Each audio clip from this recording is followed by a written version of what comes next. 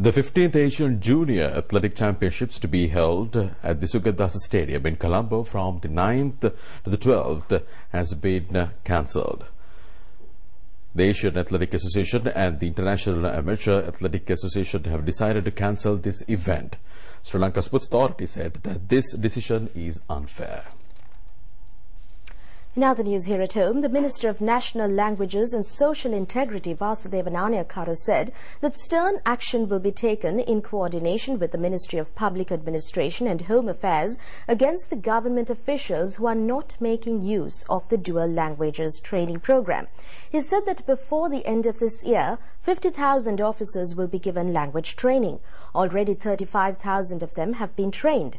Addressing a media conference in Colombo today, the minister said that a post-testing program will also be carried out after teaching the languages. Minister of National Languages and Social Integrity, Vasudeva Nanayakkara, said that some of these officers who learn the languages do not use whatever they have learnt in their offices. What we teach them, the minister said, is to address the persons who come to them in their own languages. However, it is not being done. He said if they are not using the language learnt, there is no purpose of teaching them. He said that if they do not use the language learned and if they do not sit for the examination, promotions will be stopped and steps will be taken in coordination with the Ministry of Public Administration to take action against them. The first float plane aerodrome constructed at Dandugam Oya has been commissioned. This seaplane uh, aerodrome is situated about 3 kilometers from the Katunayake International Airport. The function of commissioning this float plane was held under the patronage of Minister Basil Rajapaksa. This project will contribute to the tourism industry. Last year alone, 900,000 tourists visited Sri Lanka. It is expected to increase this number to 1 million this year. At present, three there are seaplane stations in Trincomalee, Dambulla, Kandy, Nuwara Eliya, Castlebri, Arugambe, Tissamaharama, Hambantota, Dikval, Koggala and Bentota. The government has planned to increase this number to 20. In symbolizing this commissioning, 30 students from the Setu area were provided with a seaplane trip free of charge. The Civil Aviation Services Minister Priyankara Jayaratne and several parliamentarians and the chairman of the Sri Lankan Airlines, Nishanta Vikramasinghe and several others attended this function. Meanwhile, the film Akasa Kusum has received the Best Film Award at the SAARC Film Festival. This film is directed by Prasanna Vithanage. The award ceremony was held at the uh, Tharangani Theatre of the National Film Corporation yesterday. The SAARC Film Festival, which started on the 16th of this month in Colombo, ended yesterday. 17 selected films from, from the SAARC region were presented at the festival. Akasa Kusum, presented by Sri Lanka, won the award for the best film. On behalf of the director of the film, Prasanna Vithanage, the award was received by the chairman of the National Film Corporation, Asoka Serasinghe. There were films presented by Bangladesh, India, Pakistan and the Maldives. The Pakistani film The Saving Face received the award for the best documentary film.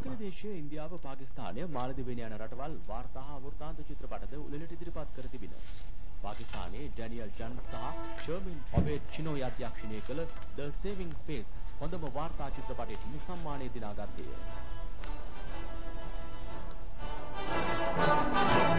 The High Commissioner of Pakistan,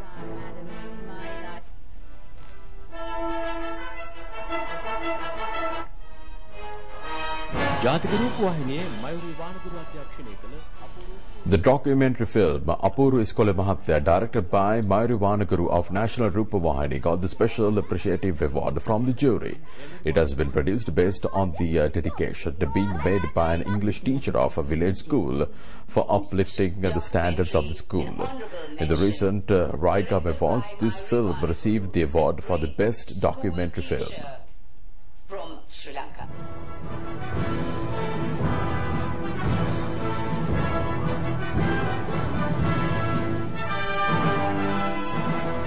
පසුගිය රයිකම් සම්මානවලදී වසරේ විශිෂ්ටතම වාර්තා වැඩසටහන හිමි සම්මානය Today is the 21st anniversary of former Indian Prime Minister Rajiv Gandhi's assassination. Rajiv Gandhi was killed by a suicide bomb attack carried out by Tiger terrorists in Tamil Nadu in 1991. Rajiv Gandhi, who was born in Mumbai in 1944, hailed from a powerful political family of India. He was the son of former Prime Minister Mrs. Indira Gandhi. He was the grandson of Jawaharlal Nehru, who was a pioneer in the Indian uh, freedom struggle. After the assassination of Mrs. Indira Gandhi, Rajiv Gandhi became the Prime Minister of India in 1984. He played a leading role in signing the Indo-Lanka Agreement of 1987. It was during this period when Rajiv Gandhi was the Prime Minister of India that the Indian peacekeeping force came to Sri Lanka.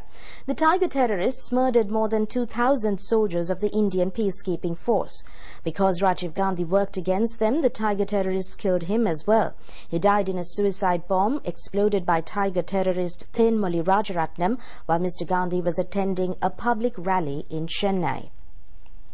A special function was held in India today to commemorate Rajiv Gandhi.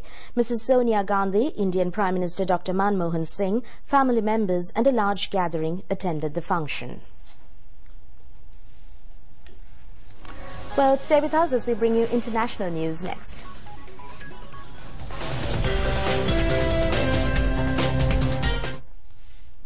Welcome back. A row between the US and Pakistan over supply routes to Afghanistan is threatening to overshadow the summit of NATO leaders in Chicago.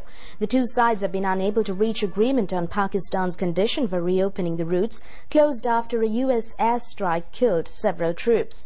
The summit goes into a second day with troop withdrawals from Afghanistan dominating the agenda. France insists that its troops will return by the end of 2012.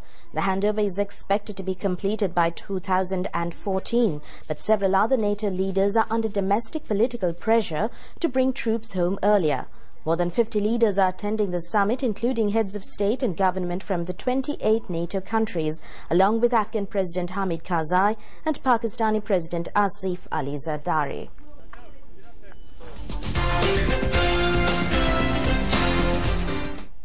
A very good evening and welcome to the sports news with me, Javed Bongzo. The players participating in the 2012 London Olympics have started their training programs. It is expected that about 11,000 players from 183 countries will participate in this festival.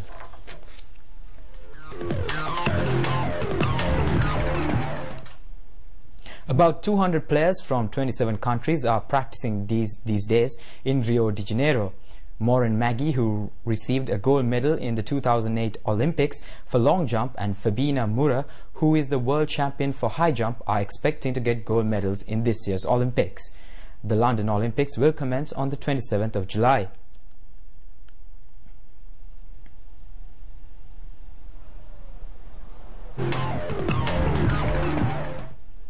The Indian weightlifting player, 23-year-old Geeta Phogat from the poorest province of India, Haryana, has qualified for the Olympics this year for the first time. The Indian Olympic officials believe that she will secure an Olympic medal for India in the London Olympics. Well, that's it on the news tonight. Thank you for watching. Do join us again tomorrow night at the same time.